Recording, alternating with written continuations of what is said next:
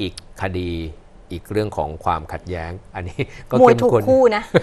มวยถูกคู่นะสำหรับค่ะคุณชูวิทย์และทนายษิทรา แต่ค่ะก่อนที่จะไปถึงเรื่องของบิ๊กแมตช์นะครับ อันนี้ก็บิ๊กแมตช์ค่ะเหมือนกันนะก่อนหน้านี้ใช่เจอกันที่ไหนโอ้โหเหมือนจะวิทย์จะวางมวยกันหลายทีนะค่ะทั้งที่ค่ะหน้าสอนอก็เคยมาแล้ว สภาไปเจอหน้ากันก็เหมือนจะแทบจะวางมวยกันมาแล้วนะครับ ระหว่างชูวิทย์กมลวิศิษฎ์กับค่ะสันธนะประยูรรัตน์วันนี้ครับศาลอาญานัดไต่สวนมูลฟ้องคดีที่นายชูวิทย์กมลวิศิษฎ์ฟ้องนายสันธนะประยูรรัตน์ข้อหาแจ้งความเท็จและหมิ่นประมาท กรณีแอบถ่ายภายในห้องน้ำโรงแรมเดอะเดวิสของนายชูวิทย์หาว่ามีการมั่วสุมยาเสพติด ทั้งที่ตำรวจเองไม่พบความผิดตามที่กล่าวอ้าง แต่ประเด็นที่หลายคนให้ความสนใจกลับมุ่งเป้า เขาบอกค่ะว่าประเด็นที่วันเนี้ยเรื่องของคุณชูวิทย์กับคุณสันธนะอาจจะเบา ๆ แล้วนะค่ะค่ะแต่บิ๊กแมตช์ที่เกิดขึ้นเมื่อปลายสัปดาห์ที่ผ่านมาเนี่ยฮะระหว่างทนายตั้มษิทราเบี้ยบังเกิด เขาว่าแลกคนละหมัดเลยนะอืมคุณชีวิตบอกแล้วว่าจะไม่เป็นโปลิสจับขโมยค่ะอะเพราะว่าถ้าทนายตั้มถ้าจะเปิดเปิดมาให้เต็มที่เลยอืมอย่าได้หาแสงหิวแสงไป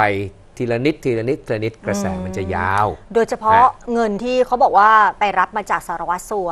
ที่คุณชูวิทย์บอกว่า 6 ล้านบาทครับแต่ทนายตั้มบอกว่ามันมีมากกว่า 10 ล้านบาทอ่าและสุดท้ายเนี่ยคุณชูวิทย์เมื่อเร็วๆนี้ก็เพิ่งโชว์ไปโพสต์ข้อความไป โชว์เกี่ยวกับเรื่องของใบเสนอราคาอ้างบอกว่าเป็นค่าแถลงข่าว อืม3 0 0แสนบาทด้วยกันสามแสนโอ้บาทนะเขาบอกว่างานนี้ตั้งแต่เมื่อสุดสัปดาห์ที่ผ่านมาทนายตั้มไปวัดใช่ไหมใช่โอ้โหไปสาบแช่งอะหลวงพ่อทันใจโอ้ไม่รู้ว่าทันใจจริง ๆ หรือเปล่าฮะเพราะว่าหลังจากที่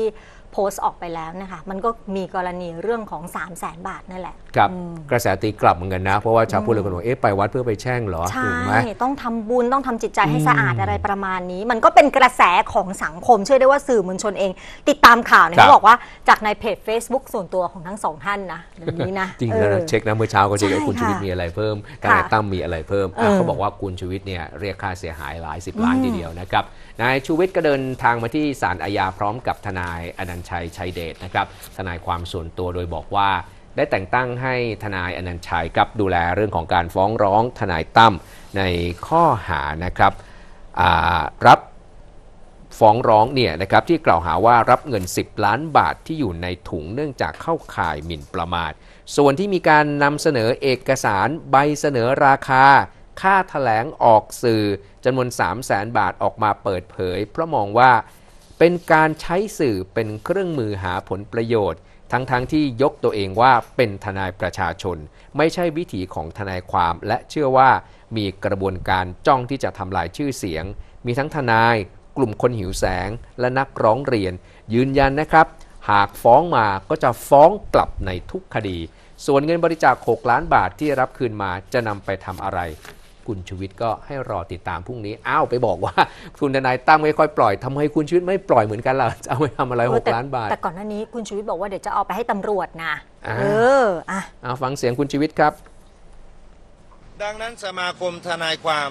หรือสมาคมสื่อ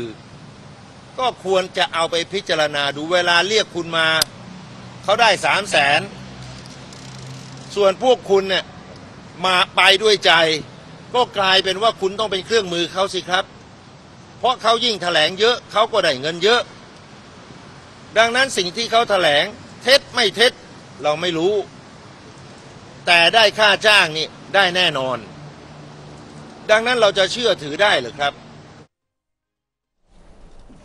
นะทนายอนันต์ชัยนะคะก็บอกด้วยนะคะว่าจากที่ดูตามพยานหลักฐานที่ทนายตั้มเนี่ยให้สัมภาษณ์สื่อต่างๆ แล้วก็พบเข้าข่ายหมิ่นประมาทอยู่ 20 จุดด้วยกันค่ะ ทีนี้ประเด็นหลักๆ มันอยู่ที่ภาพถุงใส่เงินค่ะ ที่กล่าวหาว่านายชีวิตได้รับเงิน ก็ไม่มีหลักฐานที่ชัดเจน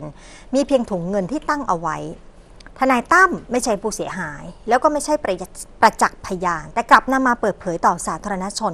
ก็เข้าข่ายหมิ่นประมาทโดยการโฆษณา แล้วก็ผิดมารยาททนายความ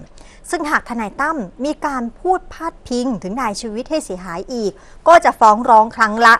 ร้อยล้านบาทค่ะโอ้นะแล้วหลังจากนี้เนี่ยก็จะไม่ให้นายชีวิตเนี่ยพูดถึงทนายตั้มเนี่ยออกสื่ออีกแล้วนะคะเพื่อที่จะไม่ต้องเสียรูปคดีค่ะ อยากจะฝากบอกคุณทนายตั้มนะครับ ถ้าคุณไม่ใช่ผู้เสียหาย คุณแค่เป็นพยานบอกเล่า คุณไม่ใช่ประจักษ์พยาน แล้วคุณหยิบยกเอกสารอะไรขึ้นมาเนี่ย ต่อไปนี้เนี่ย คุณชูวิทย์จะฟ้องครั้งละร้อยล้านนะ คุณจะเสียหายมากนะครับ แล้วผมไม่อยากให้วิชาชีพทนายของพวกผมเนี่ยเสื่อมเสียนะครับ เราต้องว่าความบนศาล เราไม่ใช่ว่าความบนโซเชียลนะครับ ส่วนเรื่องของค่าแถลงข่าว ที่คุณชูวิทย์โพสต์ไปบอกว่า 3 0 0แสนบาทกับลูกความที่นายชูวิทย์ออกมาเปิดเผย ทนายอนันชัยบอกว่าส่วนตัวมองแล้วเนี่ยไม่น่าจะผิดนะ เพราะว่าถือเป็นเรื่องของวิชาชีพ แต่ว่าในส่วนของทนายตั้มเขาก็บอกแล้วไงว่า มันเป็นเรื่องของการว่าความ แล้วก็ป้องกันการฟ้องร้องด้วยไอ้เรื่อง3 0 0แสนบาทอะก็คือว่าอืมถ้าเกิดว่าแถลงไปแล้วโดนฟ้องเขาจะเอาเงินอืมส่วนนี้แหละอืมอ่าไปใช้ในการสู้คดีกลับนะครับค่ะก็คือเมื่อ 10โมงเช้าที่ผ่านมาทนายตั้มสิทธาเบี้ยบังเกิดก็บอกยอมรับกับสื่อมวลชนนะครับค่ะเอกสารใบเสนอราคาที่เผยแพร่ขณะนี้เป็นเอกสารจริง ส่วน 3 0 0แสนบาทที่ไม่ระบุเป็นค่าไม่ใช่ค่าจัดแถลงข่าว แต่ว่าเป็นค่าต่อสู้คดีความหากถูกฟ้องกลับ ยอมรับมีคดีที่เรียกเก็บเงินจริง แต่ไม่ใช่ทุกคดี เว้นแต่เป็นคดีที่ต้องต่อสู้กับผู้มีอิทธิพล ซึ่งลูกความต้องมีกำลังจ่าย และทนายเสี่ยงที่จะถูกฟ้องร้องในเงินที่รับมาก็จะนำไปใช้กับทีมทนายที่ถูกฟ้องร้องครับ วันหนึ่งเนี่ยมันถึงจุดเปลี่ยนของผม จุดเปลี่ยนเนี่ยคืออะไรไม่ใช่ว่าผมจะละทิ้งไอ้สิ่งที่ผมเคยทำมานะครับ แต่ว่าจุดเปลี่ยนของผมเนี่ยคือทุกคนจำคดีกกอกได้ใช่ไหมคดีลุงพลเคสนั้นเนี่ยผมช่วยเขาโดยที่ผมไม่คิดเงินเลยสักบาทเดียวนะครับ แต่ปรากฏว่าลูกความทำไม่ดีกับผม เรื่องนั้นนะผมโดน โดนกระแสสังคมด่าโจมตี ผมก็คิดว่าเอ้ย ไม่เป็นไรหรอกเราเชื่อเราช่วยด้วยจิตใจบริสุทธิ์เนี่ยเราน่าจะได้รับสิ่งดีๆ ตอบแทนมาจากลูกความของเราบ้าง แต่ปรากฏว่าเขามีการไปพูดว่ากับ FC ว่าผมรับเงินหรือว่าอะไรเนี่ยทำให้ผมได้รับความเสียหายนะแล้วตอนนั้นเนี่ยลูกของผมเนี่ยคือเอาต้องบอกก่อนว่า ตอนผมทำคดีลุงพลน่ะชีวิตผมลำบากมาก เพราะว่ากระแสสังคมเนี่ยเกลียดชังผมนะครับ คือ พูดง่ายก็คือ ตอนนั้นไม่มีงานจ้างมาประมาณ 6 เดือนที่ทำคดีลุงพลเลย มันเหมือนมีหมอกทะมึนนะถ้าใครเคยใกล้ชิดผมผมจะเล่าโอ้โหตอนทำคดีลุงพลนะเหมือนหมอกทะมึนไม่มีเงินเข้าเลยสักบาทเดียว ตลอดระยะเวลา 6 เดือน แล้วเวลาผมไปคดีให้ลุงพลเนี่ย ผมก็ต้องจ่ายเงินเอง ค่าลูกน้องไปทีสามสี่หมื่นสามสี่หมื่นผมก็ต้องเอาเงินเก่าของผมเนี่ยมาใช้นี่ผมก็เลยกลับมาคิดนะนะครับว่า ถ้าอย่างนี้เนี่ยผมควรจะทำในแนวธุรกิจอะ เพื่อที่จะให้ลูกผมได้เรียนดีๆ ให้ครอบครัวผมได้ได้ดีบ้างอะนะครับนะผมถึงเปิดบริษัทษิทรา law firm เนี่ยเมื่อหนึ่งปีที่ผ่านมานะครับผมเปิดสำนักงานษิทรา law firm ผมบอกตรงๆมันคือธุรกิจครับนะแต่ธุรกิจนี้ผมก็ทำเพื่อคนที่มาขอความช่วยเหลือก็คือส่วนหนึ่ง แต่ตั้งแต่ผมทำมาเนี่ยผมไม่เคยใส่เสื้อยืดทนายประชาชนอีกเลยนะครับผมก็ทำของผมนัดผู้สื่อข่าวมาแถลงข่าว นะที่พี่ชูวิทย์เอามาเปิดเผยอะ่ะมันก็มีที่แถลงและได้ตังค์นะครับ แล้วก็แถลงที่ไม่ได้ตังค์บ้าง แล้วผมก็ไม่ได้แถลงอะไรบ่อยนะเอาอย่างปีนี้นะครับนะถ้าถ้าผมเช็คข้อมูลมาไม่ผิดเนี่ยตั้งแต่ต้นปีเป็นต้นมาเนี่ยผมแถลงแค่สองคดีเท่านั้นเองทนายสิทธาก็ยืนยันด้วยนะครับว่า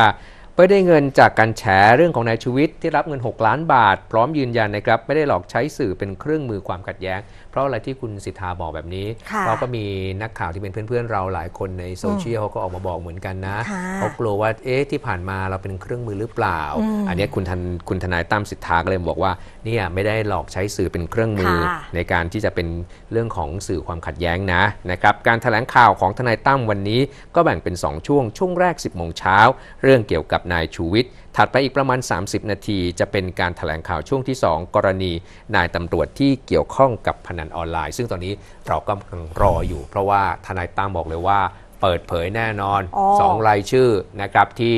มีภาพถ่าย